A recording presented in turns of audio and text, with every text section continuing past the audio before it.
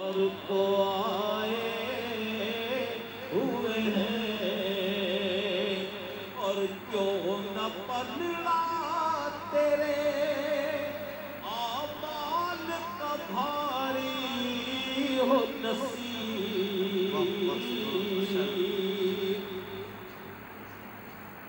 क्यों न